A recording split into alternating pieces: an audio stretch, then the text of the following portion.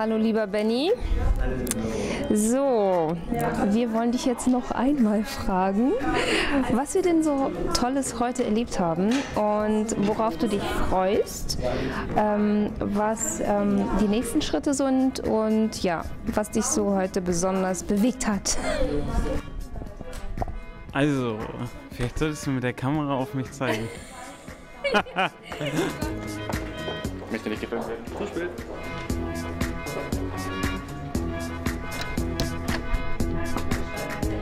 Ich halte mein Mikro fest, so. Du nimmst die Kopfhörer. Komm, Kopfhörer wieder aufsetzen. Warte, ich helfe dir.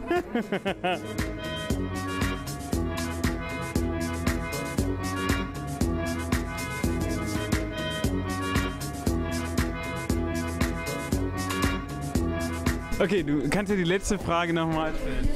Also, die Frage war, ähm, was hat dich heute besonders bewegt? Ähm, ich kann erst mal sagen, was wir heute gemacht haben.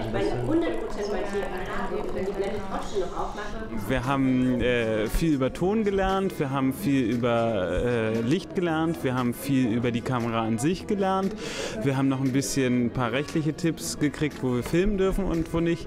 Wir haben nochmal das abgeänderte Drehbuch äh, drüber gelesen und sind jetzt gerade dabei, das Storyboard zu schreiben und die Logistik zu machen. Wir sind alle schon ein bisschen ausgebrannt und äh, haben auch ein bisschen Schiss vor dem Dreh.